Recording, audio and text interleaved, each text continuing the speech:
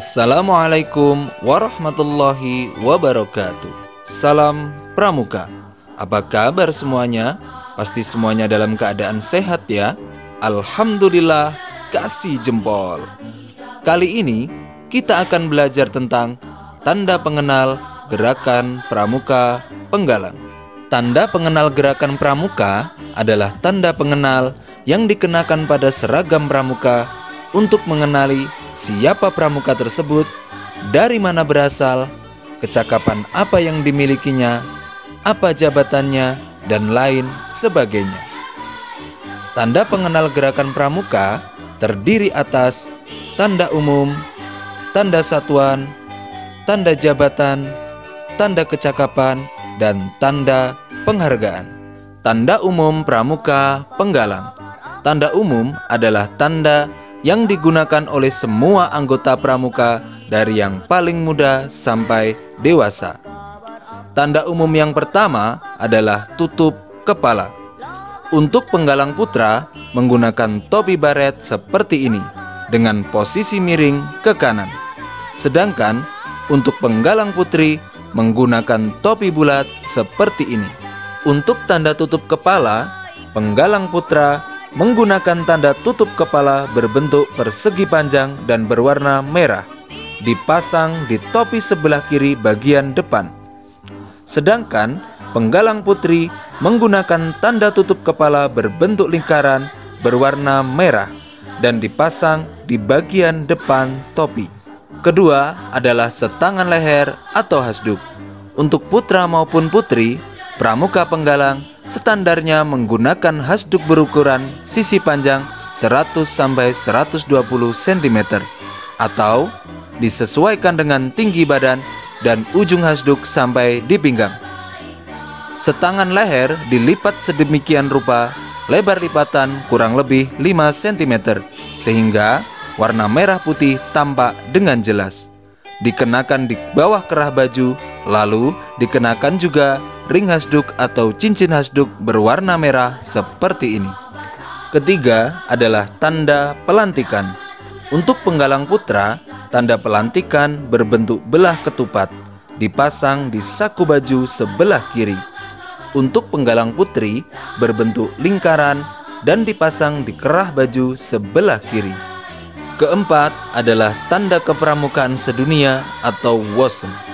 Untuk penggalang putra, berbentuk persegi dan dipasang di atas saku baju sebelah kanan. Sedangkan penggalang putri berbentuk lingkaran dan dipasang di kerah baju sebelah kanan. Kelima, ada tanda nama. Untuk putra maupun putri sama dipasang di atas saku baju sebelah kanan di bawah tanda wasem. Tanda satuan pramuka penggalang. Tanda satuan adalah tanda yang menunjukkan satuan atau tempat seorang pramuka tersebut berasal. Yang pertama adalah tanda regu. Penggalang putra menggunakan nama regu dari nama-nama hewan, sedangkan putri menggunakan nama regu dari nama-nama bunga. Tanda regu penggalang, baik putra maupun putri, berbentuk persegi dan umumnya berwarna dasar kuning dan dipasang di lengan baju sebelah kiri. Kedua adalah tanda gudep Tanda gudep berbentuk pita, berwarna dasar putih, bisa terdiri atas nomor kuarcap, nomor ranting, dan nomor gudep. Untuk putra berupa nomor ganjil dan putri berupa nomor genap. Tanda gudep dipasang di lengan baju sebelah kiri. Ketiga adalah tanda kuartir. Tanda kuartir berbentuk pita melengkung berwarna dasar putih, tertulis nama kuartir cabang di mana pramuka tersebut berasal. Tanda kuartir dipasang di lengan baju sebelah kanan di atas tanda gudeg. Keempat adalah lencana daerah atau wilayah. Lencana daerah atau wilayah menunjukkan dari kuartir daerah atau provinsi mana pramuka tersebut berasal. Setiap daerah memiliki bentuk dan gambar yang berbeda-beda. dipasang di lengan baju sebelah kanan di bawah tanda gudeg. Tanda jabatan pramuka penggalang. Tanda jabatan adalah tanda yang menunjukkan jabatan seorang pramuka. Tanda jabatan pramuka penggalang berbentuk persegi panjang, berwarna dasar kuning, dan terdapat strip di tengah berwarna merah. Terdapat tiga macam tanda jabatan. Strip satu untuk wakil pinru, strip dua untuk pinru, dan strip tiga untuk pratama. Tanda jabatan dipasang di saku baju sebelah kanan. Tanda kecakapan pramuka penggalang. Tanda kecakapan adalah tanda yang menunjukkan kecakapan yang dimiliki oleh seorang pramuka. Pertama adalah tanda kecakapan umum atau TKU. TKU penggalang berbentuk huruf V berwarna dasar merah dengan gambar bunga kelapa bertangkai tiga berwarna putih.